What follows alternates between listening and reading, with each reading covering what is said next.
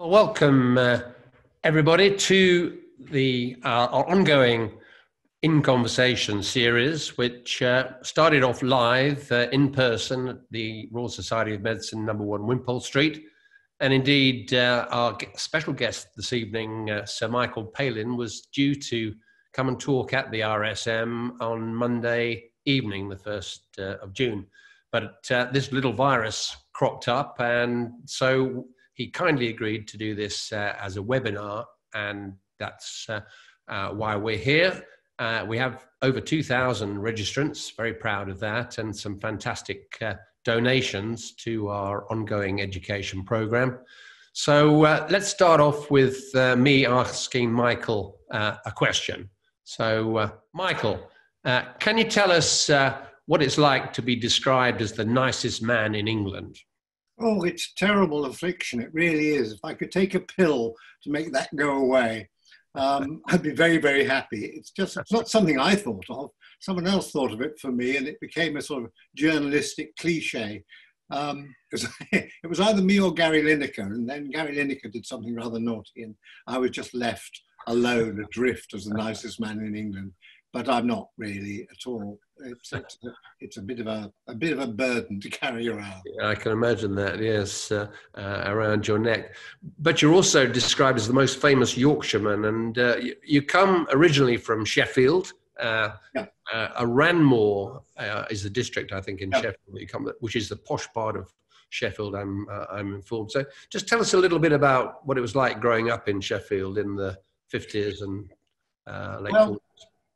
I mean, uh, we did grow up in the west side, which is where most of the money is in the big houses. My parents had very little money, so I was aware quite early on what it was like to um, not have um, a big car or a big house. We had a fairly big house, but it was always it was rented and all that. Um, Sheffield was a, a, curious mixture. It was a very beautiful um, west side of the city. It had access to the Peak District, to the uh, reservoirs there. Um, it, it, was very beautiful country. Uh, on the east side was just heavy duty steelworks, and one of the steelworks my father worked at.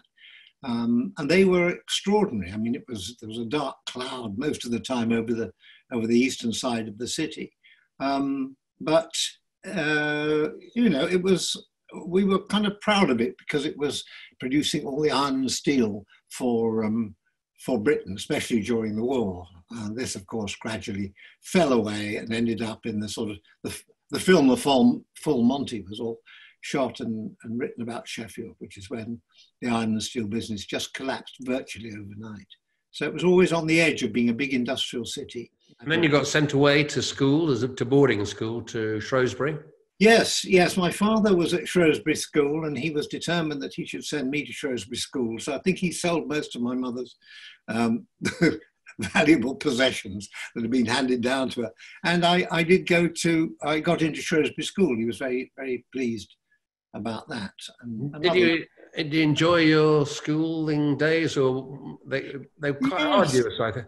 I, I mean, I wish I could say, no, I was thrashed within an inch of my life and uh, was utterly miserable and, and I, I, wasn't actually because generally I'm fairly optimistic and there were some pretty awful people there, but there would be in any institution, and you just make sure that you um, find your way of negotiating your way through it. And because I was on my own, if, if you like, without my parents to go back to every evening, I worked out a way of, of living with um, a number of people I didn't particularly like and values I didn't particularly like, but enjoying a lot of other things, such as great sports activities, wonderful um, uh, you know, the, the, location there by the river was wonderful, and a few teachers who were invaluable. And I, I think Charles Darwin was an alumnus of that school. I read uh, somewhere. Is that right? Yes, yeah. he, he, was indeed, and yeah. um, uh, he sort of followed me through my life. And uh, recently, I became a member of the Athenaeum Club in London. Um, and um, if you go in there, Charles Darwin is behind the bar I mean, not serving, but there's a huge portrait of it hanging behind the bar. Must have cheered a lot of people up over the years. Maybe, he, maybe he was the inspiration for all your travelling that we'll um, come on to and talk about uh, no. later. So from Shrewsbury down to Oxford, uh, Brasenose College, and there you met Terry Jones, right? Yes, um, I actually met a man called Robert Hewison, who was uh, from London and was rather smart and uh, had the sort of metropolitan confidence that I lacked coming from Sheffield. We both loved the Goon shows. We loved uh, Spike. Uh, we loved Spike's work, Peter Sellers' work, also um, Peter Cook and Dudley Moore. And we just joked together a lot until Robert suddenly said, Well, we can make some money out of joking, you know, you can put a cabaret together for 30 minutes and, and earn some money. And I mean, I didn't know what a cabaret was. I thought it was something rather naughty and Parisian. Um, but I came from Sheffield. I didn't even know what, what pizza was. Um, uh, but he made he got me together and we did our very first uh, comedy gig if you like, uh, on the stage at the Oxford University Psychological Society Christmas party. and we were listened to in total silence for 30 minutes. but they loved it. and, and, you read art, uh, modern history there, right? Did yes. You, did yeah. you enjoy the academic side of it, or were we so too busy doing cabarets? I was very busy doing doing cabaret, acting, writing, making friends you know, I could make friends at Oxford who in a different way from school. School, it was all regimented. You made friends in your class or your your particular sporting set or whatever. At Oxford, you could choose from a very wide range of people, and that's where I got to know Terry Jones, who was actually at uh, St Edmund Hall at the time, through acting. And we just spent most of our time trying to either write, devise, or perform uh, comedy and sketches. And in the evening, we, we try and do our history essay. We had a very a lovely, indulgent uh, tutor, Mr. Collier, Eric, who um, said, "Look, you, you you you should keep on with your acting." I think he meant because you're rather better at it than you are at history, but you know it's come back to haunt me in a way. And uh, the book I've just written about HMS Erebus in 1839 is a bit of history. And I never ever thought that in the end I'd be writing history books. Fantastic book. I've just uh, just been reading it. But wh- where does the sort of craziness, the sort of surrealist uh, element to your humour come from? Does it does it come from Oxford, or did it develop when you got to London and the kind of London scene in the in the early sixties?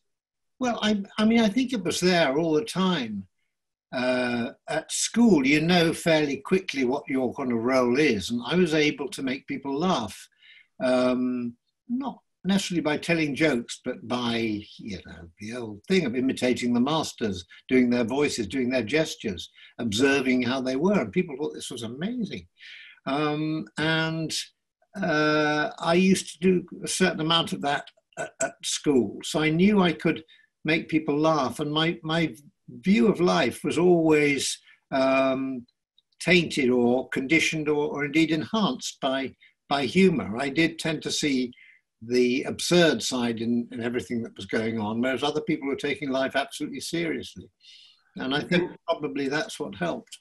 And you and Terry Jones working together, I mean, was were you sparking off each other in terms of script writing and jokes and, and lines? I guess you were.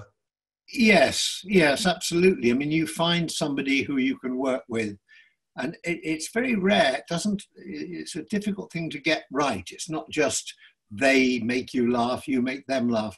There's got to be something which you've got to complement each other. Someone's got to provide something which the other person doesn't, but it comes together to create something you both feel proud of. And, and Terry was um, when we were writing together, Terry was extremely good at story, plot, narrative, and I was probably my strength was in creating comic characters, um, which we would then Terry would bind them together in a sketch or a film or whatever we were doing. So that was our that was our sort of dynamic. I was going to ask you about John Cleese and Graham Chapman. Graham being a, a doctor qualified from Bart, so yes, yeah. Uh, yeah, yeah, excellent. Yeah, but, but, they were a sort of complementary writing he did. But tell us how, how you know, through the Frost program writing for that, how the sort of Python um, concept developed? Did it, was it a sudden revelation or? Well, no, it was the Frost report, uh, which was first broadcast in 1966, I think, or, or late 65, was a bit like a sort of writer's waiting room. David Frost had gathered together all sorts of writers from all sorts of backgrounds. There were there were sort of 50 or 60 of us writers there. He could he could sort of call on and everyone was competing to be in the show. Um, and a number of us were from varsity backgrounds, John and Graham and Eric Idle from uh, Cambridge, and myself and, and, uh, and Terry from Oxford. And I think because we there was a kind of university tradition of doing comedy sketches, culminating in the Edinburgh Festival, the Footlights uh, was the Cambridge group, and we called ourselves the Etceteras. We, we had a similar way of channeling the comedy. And so we looked at each other and what they were doing, what we were each doing. And John and Graham were just writing the most marvelous sketches. Um, really, some of some of the absolute best. And of course, when Python got going, they wrote Cheese Shop and um, The Dead Parrot and all the argument sketch. Um, whereas Terry and I were writing little little bits and here and there, bits of film, and we kind of looked at each other over the years and said, "We like what you what you do," and they said, "Actually, we rather like what you do." We felt, well, we can't do what you do, and they said, "Well, we can't do what you do. How about getting together?" So, in '69, three years after the Frost Report had trained us all up, we um, we, we, decided to make a bid for freedom and uh, write our own stuff.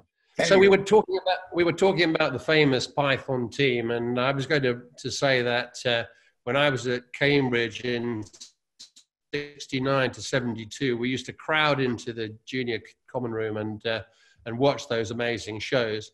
The the uh, of all those Python shows, do you have any favourites or any particular ones? The I was watching the fish slapping uh, episode on the, where you get plunged in the end into the into a river. Yeah, into a canal, into the canal at Teddington. Yes, the fish slapping was, I, I think, I mean, I, I, I, defy anyone to not find that vaguely funny. And when we recently, I was in North Korea, and actually, uh, the director had brought along the clip of fish slapping dance, and I showed it to my guide, young 28 year old Korean lady who didn't know anything about what I did back home. And she watched the fish slapping dance and, and really cracked up. she said, this is, this is what you do? And I said, well, I mean, I did a long time ago. I thought, this is so odd. You know, she's just coming, oh, he's, he's a fish slapper. Yes. and what about the, the, the uh, Norwegian blue parrot sketch? That's another uh, old favorite uh, that comes out. Yes, I mean, that, that's, that's become so well known now that John and I, well, I mean, I wouldn't say we're bored doing it, but it's kind of, it's very predictable. So we have to try and make each other laugh throughout it. But I, I remember very fondly one which I don't know whether it even went out. It was very early on, and it was John and myself dressed as Frenchmen in long coats and uh, striped um, t-shirts, talking about the, the Anglo-French sheep. This was the time of Concorde, you know, le mouton, le mouton anglo-français, it is. And we would do a little bit of French, and we had one moustache between us. And the one who was speaking wore the moustache. When they finished doing their bit, they'd take the moustache off and stick it on the other person. And after a bit, the moustache became rather sort of dry and sort of hung down and then fell off. And it was just, I thought, this is a shambles. No one's going to watch this. But it remains one of my favorite sketches. it was the sort of shambolic nature of it all that, that made it so interesting. And uh, yeah. One of the one of the differences from the comedy before was there was no sort of punchline, and the often your sketches ended in the middle of uh, of the actual sketch with yeah. Graham chapman used to come in and say stop this where it's all yes. too silly. Yeah yeah. That was did you feel then that it was uh, you know innovative that it would be that it was something that was going to last now 40 years plus? Not at all. I honestly say that and i think we'd all agree. We um, we enjoyed doing it. We knew it was a bit mischievous and different and the BBC were, were quite confused by it. and decided to do it. Good for them, but they put it out very, very late at night. Um, on Saturday, I think it was, on BBC Two in what was then known as the graveyard slot, where they put uh, satire had once flourished and died and dried up.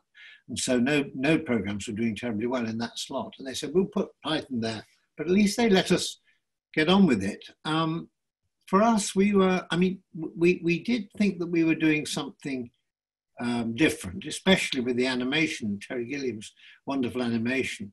And as you say, the different format things, uh, stopping in the middle, beginning and end, the Spanish Inquisition, and somebody coming on and then rushing off again because couldn't remember the lines. Um, but we felt at the same time, is this just us? This, is this just very in? Um, and it was a great surprise uh, to see, and has been over the years, to see how Python has become cherished by a certain number of people and seen as something frightfully important. We didn't feel at the time it was a way of making a living. Yeah, it was our first thing in, almost our first thing in television. And, and it was popular in America, um, perhaps surprisingly, really, because yes. it's so English. Yeah. Well, yeah. what's the the Americans? Uh, they they sort of reveled in it now, and they still do. I think they watch it now. Yeah, it's a most interesting um, uh, sort of story how it broke in America because it it it got quite a sort of cult audience in England about 1970, 71, and there were Americans including a journalist called Fred Friendly, who wrote for the Washington Post, who came over and said, This is just great, you know, and kept uh, name checking us in his reports. Uh, and yet, uh, we did a film called And Now for Something Completely Different, which was financed by the man who ran Playboy at that time, Victor Lowndes. And this was to break us in America. And it just didn't. People just didn't understand it. And the people who were trying to publicize it didn't understand it. That was the important thing. So we'd sort of given up um, any hope of it being in America on, on a grand scale. And it was in 1973, I think, quite a long time later, that the man who ran the public broadcasting station in Dallas, Texas, um, happened to see Python while he was checking out BBC product in New York and said, um, "Oh, this is quite funny. This is kind of odd. Can I have? Uh, can I take these shows back for the weekend? Show them to my guys out there?" they all loved them and they played all 45 shows over the entire weekend. So we broke in Dallas and then on the uh, mainly on the sort of the schools uh, and, and university circuit around America, it became incredibly popular and became a cult show. But I think that was because it was on public broadcasting in America. There were no ads in the middle, and I mean, no no channel with adverts would have uh, wanted Monty Python anyway because it, you know, it just made made everything sound so absurd and so silly, and it was considered rather rude. But it was just what the um, the students wanted, and they they really took us to their their hearts. And what about the films? The the first one you, have already mentioned. Now for something completely yeah. different, uh, and then uh, the uh, the Arthurian legends, uh, uh. Monty Python and the Holy Grail. Yeah. Any any insights about those? I, I just love some of the, the, the sketches from both of those shows. Well, yeah, I mean, we were. I, it's just very interesting that my favourite subjects when I was at school were history and geography. And generally, you feel, well, school is school, you put that behind you and off you go. And that's what I thought. I'm going to, gone into the world of television and all that. I won't need to know all the dates and the kings and the and the history of this and when Mercia was founded and all that sort of stuff. And then suddenly we end up realizing that we know an awful lot about this sort of stuff, and yet we can't make great sense of it. So let's make it the basis of of something comic. And the the idea of, of choosing the search for the Holy Grail was that we could all play individual knights um, and then we could create lots of other characters because the whole legend of King Arthur had been written so often that nobody really knew what the truth was, if indeed there was any truth there anyway. So you could kind of create any characters. And so you could have, you know, Tim the Enchanter and the Lord of Swamp Castle and all these people, and yet still carry through the story of the search for the Grail. So, like all the, the I think the best material we did, there was a certain seriousness and this was personified by Graham Chapman, uh, wonderful, uh, lost medicine, but a wonderful going to the to the acting uh, uh, fraternity because Graham had this ability to play very convincingly someone who was utterly confused about what was going on around him. As King Arthur, you've just you know, you know people say, "What what are you doing here?" But uh, you know, I'm your king. We don't have kings here. We're all democratic and, and he would have to deal with all these stroppy peasants and difficult people and all that. and in Life of Brian, he was a you know man who was a victim of of um, you know false identification. He wasn't he wasn't the Messiah. He didn't know anything about that. And people kept saying, you know, you, you, you're the Messiah. No, I'm not. Yes, you are. Um, uh, I know he's the Messiah. I've followed a few, and all these, and just Graham was absolutely brilliant at playing the central, serious, central character seriously, and that was so that was so so important. I never thought that seriousness of, of you know the material and the history behind it and the performance would be the basis of something that could be very funny. And you must have got a bit of flack for the uh, sort of irreligious, uh, sacrilegious, uh, some people might say, uh, scenes from the life of Brian. Did you did you pick up any flack from the religious uh, side of life on that? Oh yeah, well of course we did. There were, there were no sort of severe injuries, but uh, a bit of flack was flying, and um, yeah. I think a classic, a classic evening was when John Cleese and myself went on to a film, to a, sorry, a chat show called Friday Night, Saturday Morning, hosted by Tim Rice, where they had the Bishop of, um, of Southwark and uh, Malcolm Muggeridge, and we were going to debate the film. And, and I think that we sort of prepared for it because we know this, we were going to be given a bit of a grilling by people who knew about religion and all that. And all they did was just try and mock it and be funny and talk about, well, I hope they get their 30 pieces of silver and that. And it was a very, to me, a very shocking kind of interview because I thought, all right, we've, we've, we've got a film which we can defend. You know, Jesus is not Brian. That's clearly shown because you see Jesus elsewhere preaching at the Sermon on the Mount and all that sort of thing. So you know that's not And the, and the film, if it's about anything, it's about religious authoritarianism and dogmatism and, and people who aren't Jesus telling you what to believe. Um, and they, they just mocked it. And it was, it was embarrassing because they, they, they thought they could win the audience. And in the end, they just sort of it seemed very, very sort of coarse what they were doing. And Malcolm Muggeridge called it a cheap 10th rate film, you know. It wasn't cheap and it wasn't 10th rate, it would be 8th rate, possibly.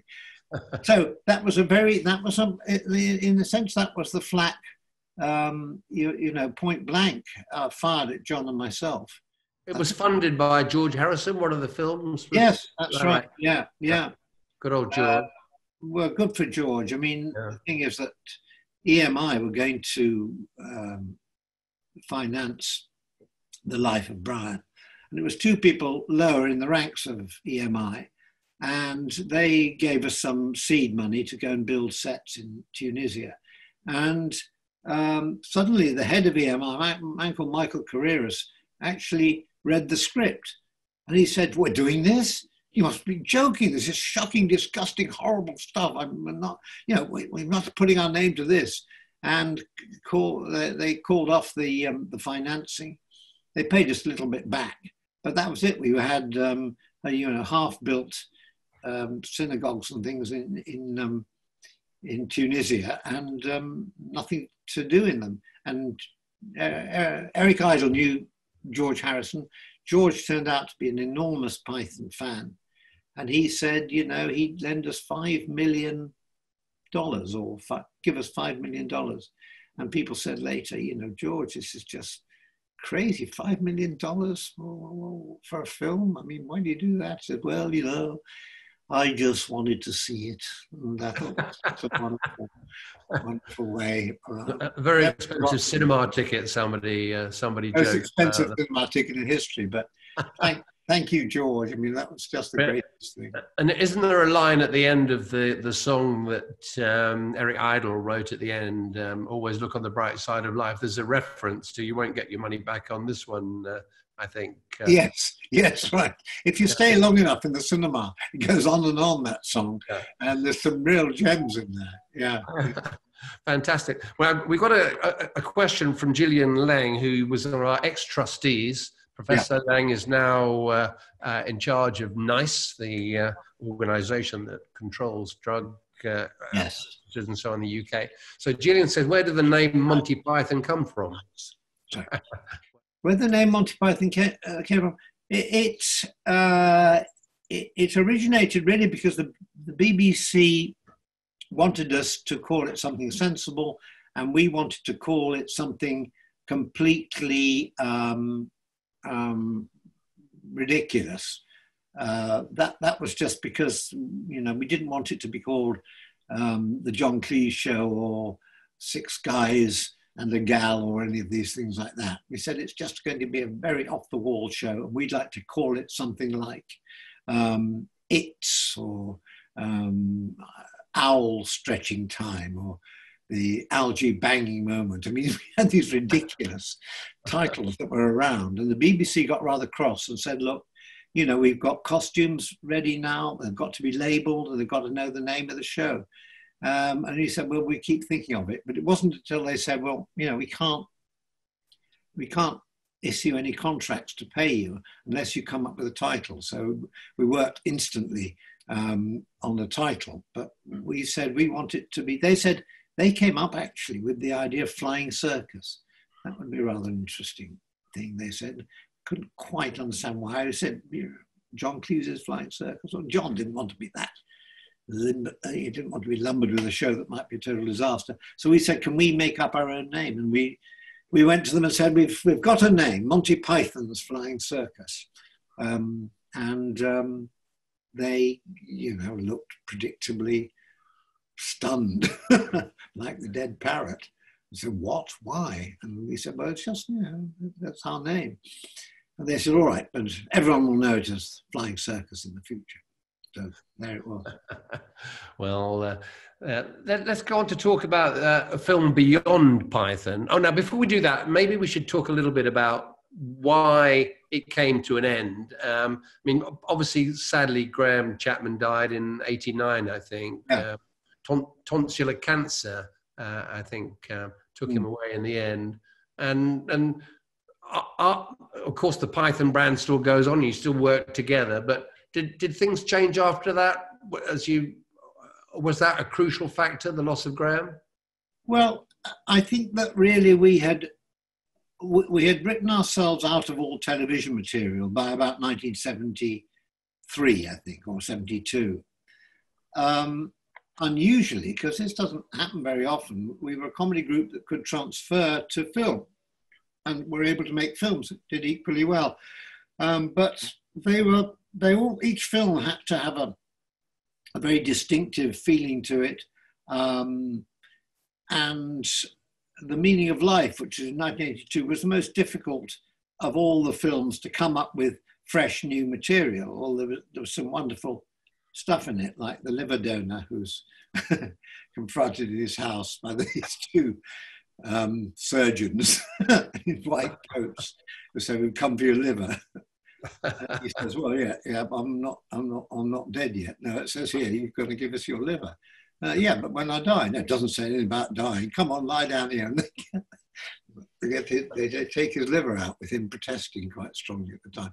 Anyway, there was some great stuff in Meaning of Life, but it was it was it was essentially a mess compared to um, the Holy Grail, which had the story of the search for the Grail, and Life of Brian had the Bible story. And I think we felt after that we'd written ourselves out of films as well. So that was 1982 we all went off to make various different films ourselves.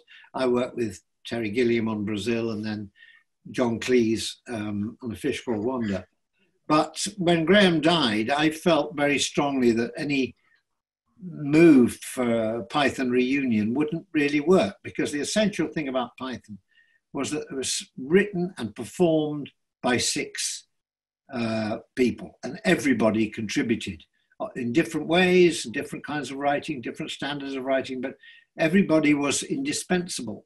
And once Graham had died, sadly, it was like a sort of six-legged table and the legs dropped off and it's, it's unsteady. So um, I, I, felt after that, personally, I, I, think others did as well, that we couldn't really reunite as Python.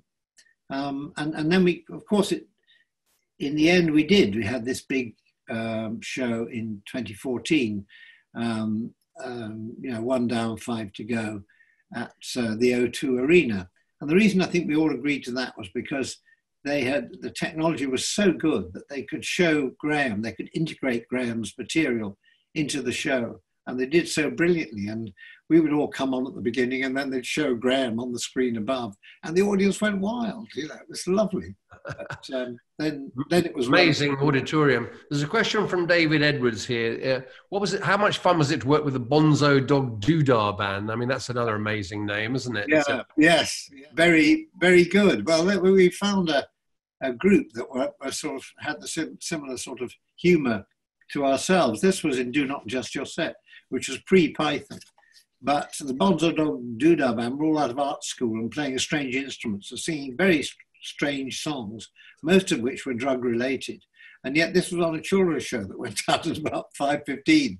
But they, oh, hello, yellow tree and pink sky.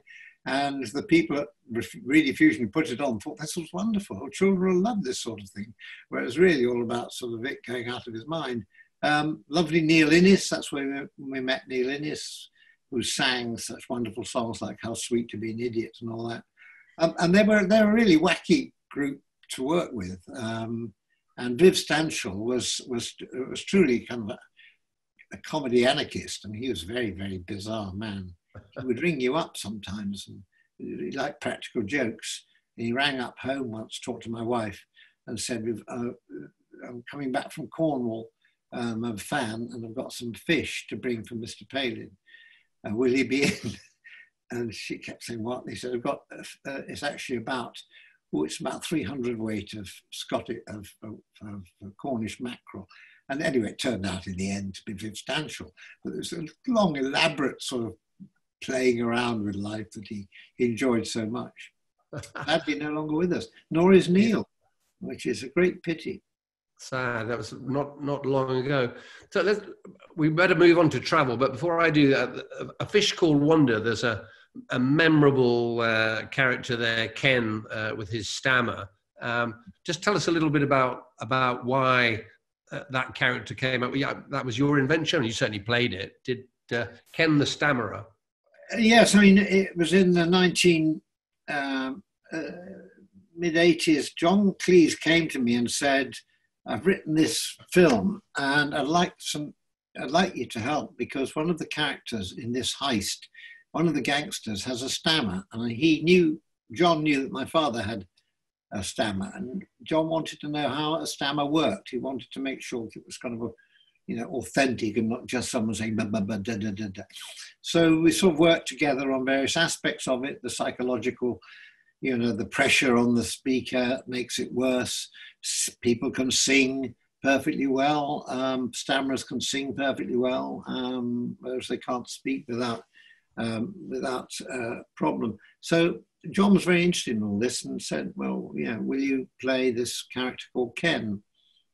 And um, of such a funny film, I thought, well, I, will have a go and I'll try and make the character someone who's sympathetic, despite the fact he's an awful crook.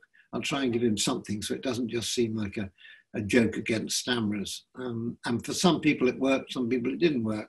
Were some people who stammered were offended by it, and, and I can sort of understand that. But others said, well, it's great that, you know, stammering is, it's, it's around. We all, we, we know so many people who stammer, and here is a stammerer being a character in a film. And it, it led me in the end to uh, be asked to give my name to a Centre for Stammering in Children. And um, it was called the Michael Palin Centre, the only time I've ever given my name to anything like that. And it's really been one of the things I'm most proud of in my life. And I feel, well, there we are, it's gone round full circle. If my, if my dear dad had been able to attend the, something like the Michael Palin Centre, if it is something like that had been around when he was a kid, um, life might have been utterly and completely different for him because it was a, was an awful thing to be stuck with a with a They must be having difficulties with COVID crisis in the same way that the RSM is, uh, being everybody being out of the building. Yeah. Yes, they they are. They're doing a lot of like this, a sort of um, a lot of Zoom, of digital um, therapy. Uh, we're going on trying to do the very best we can. Like you, there's a problem of funding and all that, trying to keep it going. But it is, it's a charity I feel personally so um, uh, is, so important because it's not very often stammering is not a popular cause. I mean, cancer, quite rightly, um, heart problems and all that uh, tend to get more money. Uh, but um, stammering does, I know personally how it affects people and the, you know, the awful difference it can make to a life and the difference it can make to change your life if you, if you can manage it. So I think it is so important, and I just hope I know they'll keep going because they're terrific therapists doing great work. That's the Michael Palin Centre for Stammering Children. Is that right? Uh, yes, I think it, that, that's what it's called. Yes, and there's the ARSC, which is the um, Association for Research into Stammering Children. We, you can check. We can check that out on. Yes, on that's very nice. So let's, let's move on to the travelling, Michael, and just tell us how I think it started with Around the World in 80 Days, uh, the Jules Verne book.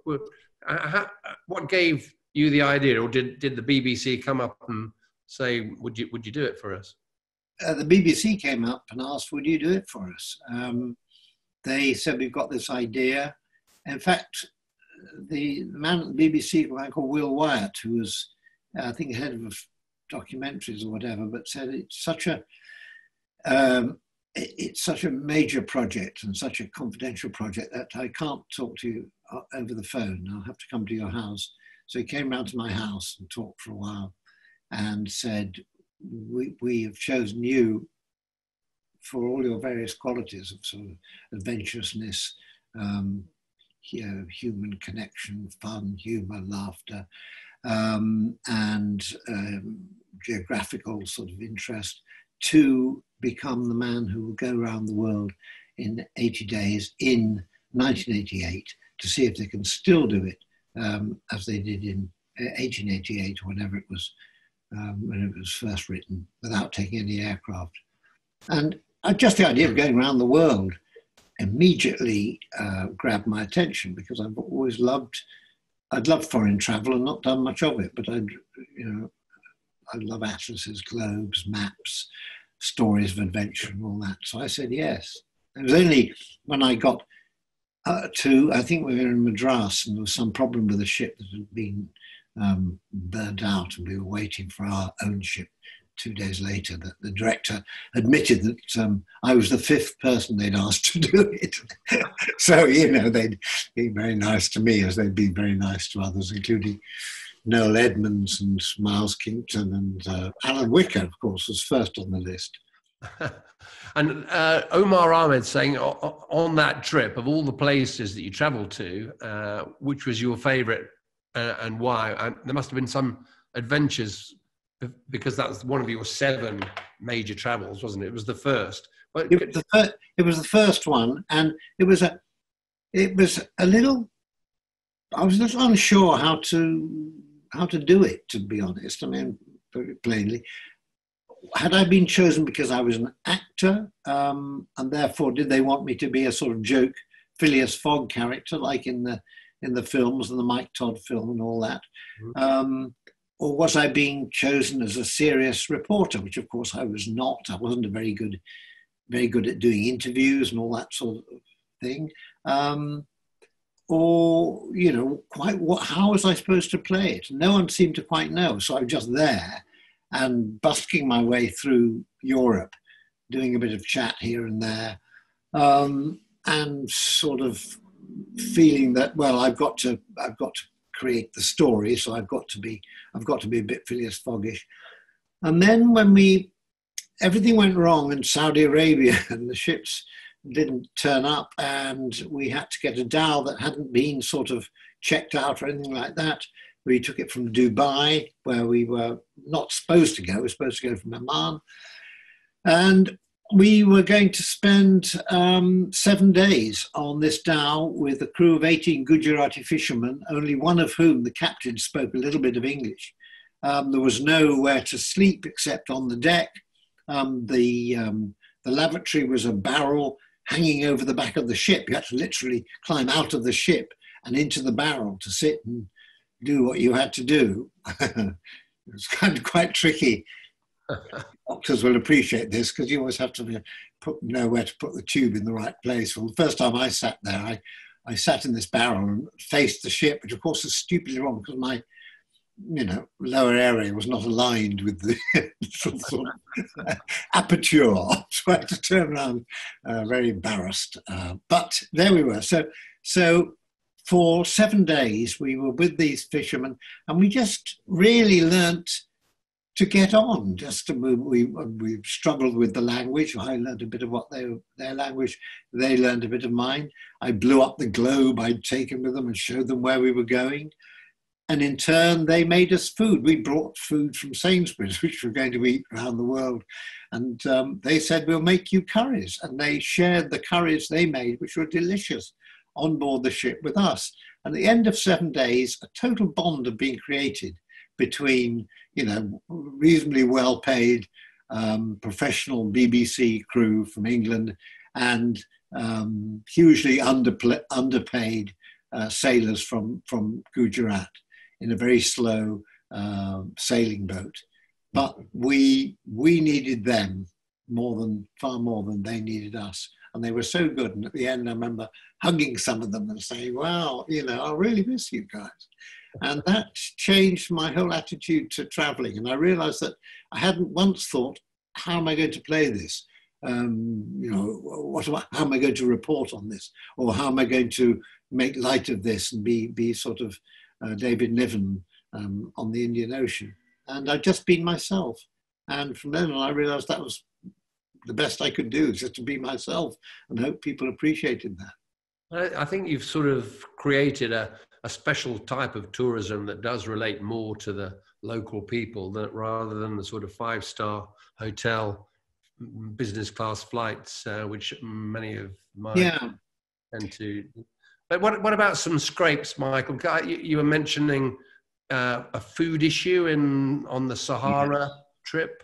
Yes, um, we were in a refugee camp in um, Algeria, and uh, they were again people with the least give you the most. It's so wonderful. Anyway, they they'd actually bought a camel, bit of camel, um, for us. And we were there for about a week, and the camel was pretty good by, on Monday, but by Friday, it was a little bit high.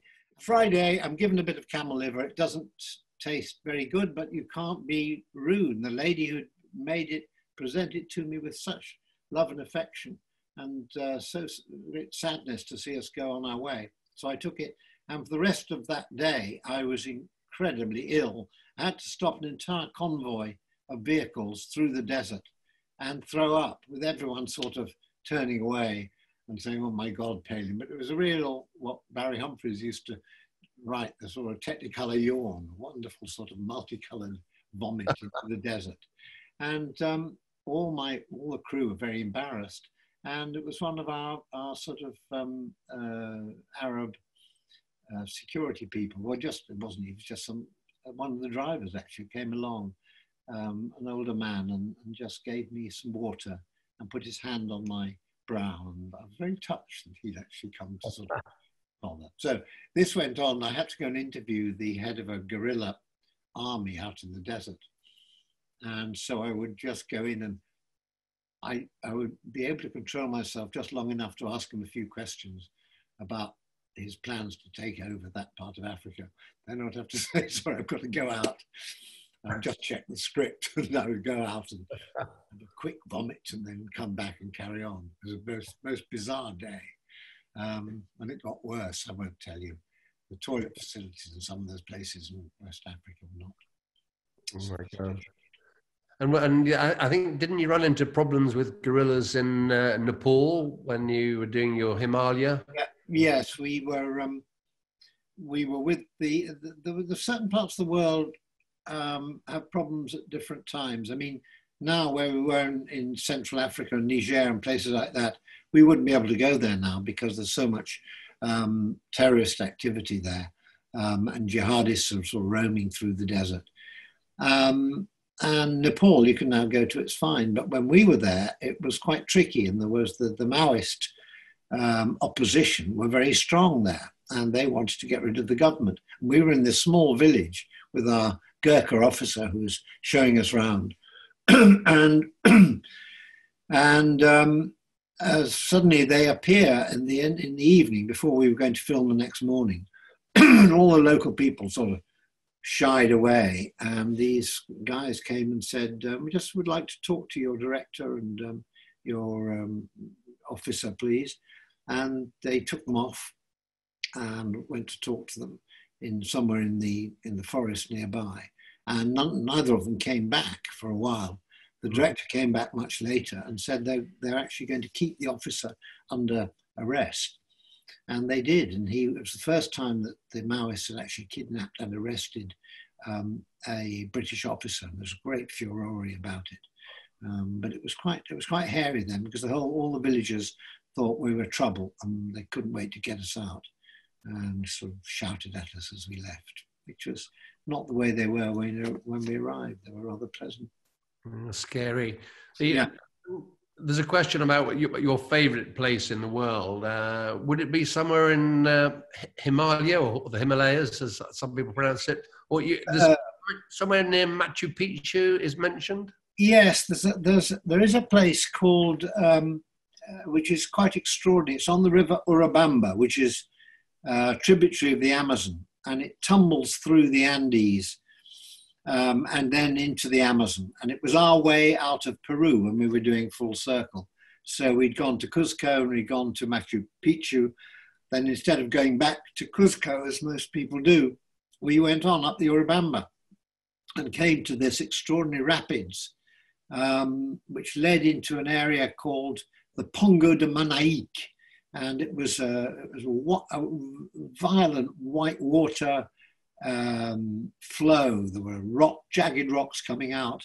We were we were in sort of sort of like like long open um, canoes, really, being driven incredibly deftly by the local people in and out of the rocks. But there were so many times I thought, this is it, we've had it. You know, sheer basalt walls coming up we veer straight up and then uh, then turning off just before we came to the wall, and we ended up suddenly in a paradise of clear, calm water. This was called the, I think it's called the Pongo de Mainique, and it's um, on the borders of um, of Peru and and well, not you know, it's uh, on the borders of the Urubamba and the Amazon River, and it was just sheer uh, black basalt walls with water running down, great big sort of black butterflies, um, the size of your hand flying around, and utter silence and peace after the ordeal of the rapids. And I remember thinking, wow, this, this is heaven. You've had a medical crisis not long ago, Michael, and I think uh, you yeah. know, talking since our audience uh, are mainly medics. Um, yeah, you you ended up in in hospital. Talk us through that experience. Well, um, about uh, five years ago, I was um, diagnosed with a, um, a loose mitral valve.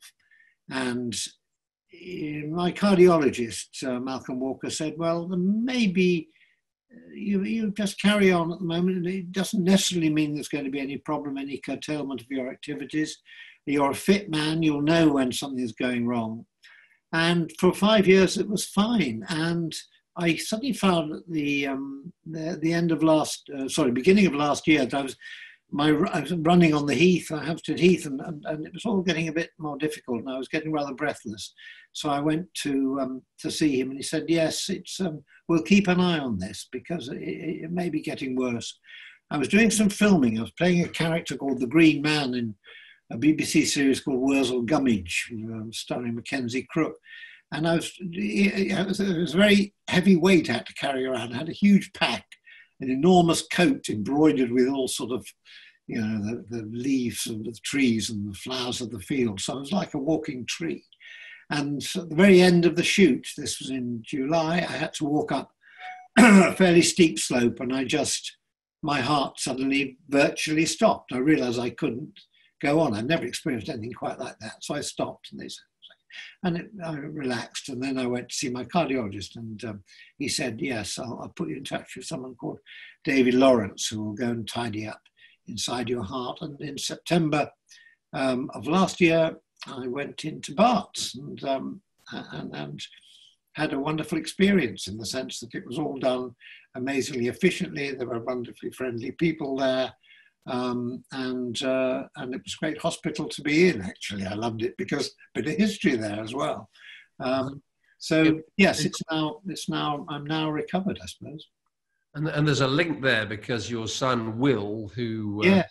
I know, a lovely man, like just like you, a nice man, and he, and he's working with Marcus Setchell, one of my buddies, to, yes. uh, to, to, for the celebration of the 900th anniversary of that hospital, founded in 12 uh, 1123. Mm. So uh, they're raising money for to the restoration of the Great Hall, aren't they? Yes.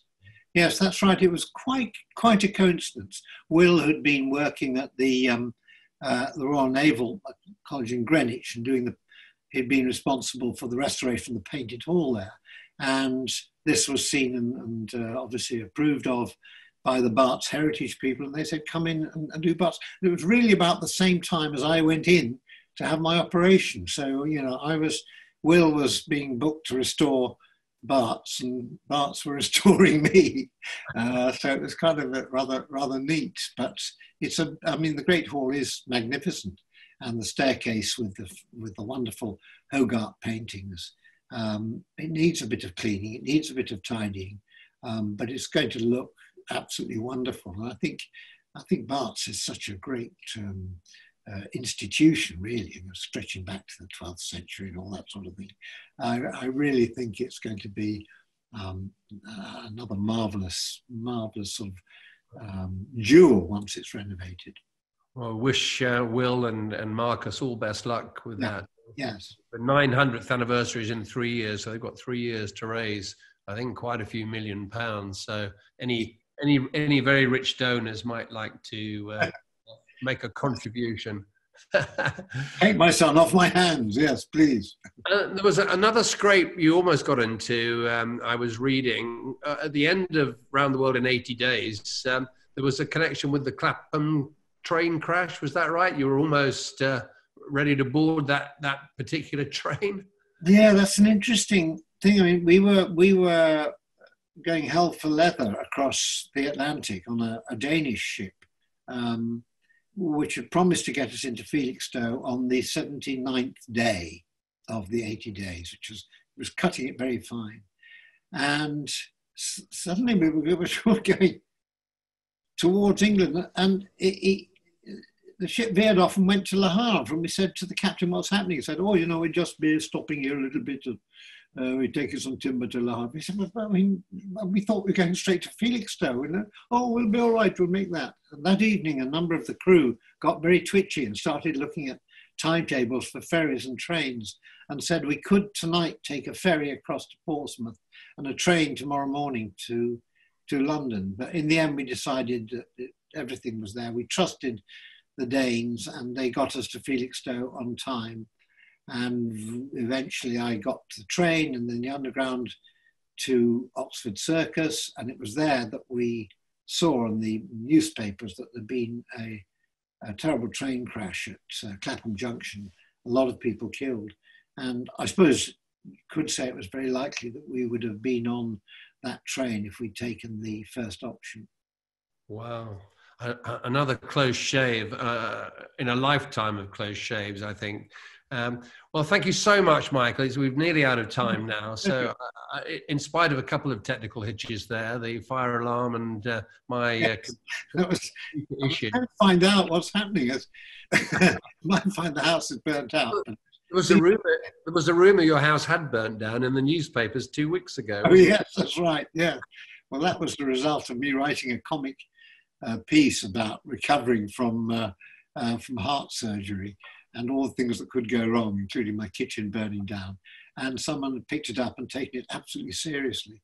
And it ended up with me being in a burning kitchen and my 86 year old neighbor who had had sextuple heart surgery only a week before dragged me to safety. And someone read this and took it literally. So it shows how little they know about problems of heart surgery. well, thank you so much for. Uh, uh it, it, really is true. You are the nicest man in uh, in, in Britain, especially. no, no, please. Yes. Thank you very much. Lovely to talk to you too.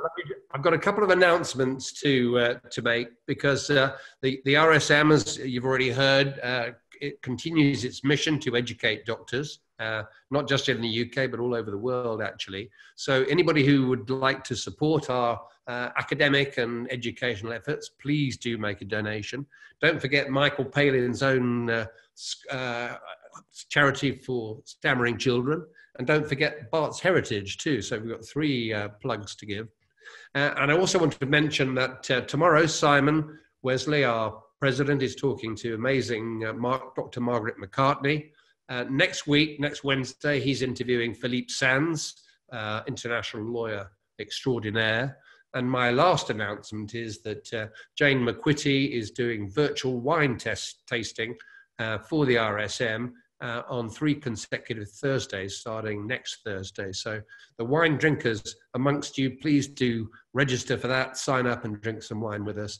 But uh, a final farewell to the amazing Sir Michael Palin. Michael, cheers. To you, and thank you so much. Thank you. Bye. Bye.